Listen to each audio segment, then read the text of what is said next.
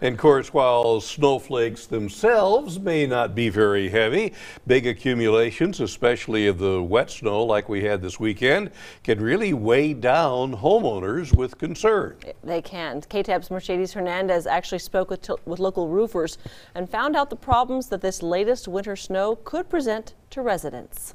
We're snowing one day and then it's sunny the next and freezing the next. So. Snow today, gone tomorrow is pretty much the norm when powder hits the big country. But according to owner of JR American Roofing, Brandy Rangel, the trouble really comes when the frost melts. Or even if it rains, you're going to have those slow leaks. Rangel anticipates a flurry of calls as this third winter storm will likely uncover leaks in roofs, possibly due to damaged shingles. Whenever they get really, really cold, they end up cracking.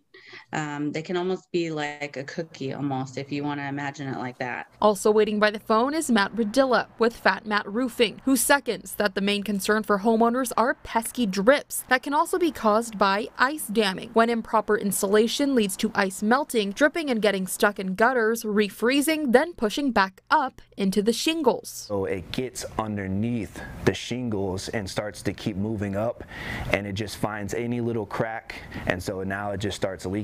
According to Radilla, there's not much that can be done to prevent leaks like this other than getting your roof routinely inspected to find them ahead of time. Every six months, you should really get it looked at, make sure it's sealed, make sure it's ventilation, and make sure the shingles are done correctly. Rangel also recommends checking into your home's insurance policy to make sure the next snow, hail, or windstorm doesn't take a toll on your wallet as well as your roof. It's really good to just kind of taking that time to ask your agent, you know, what kind of policy do I have?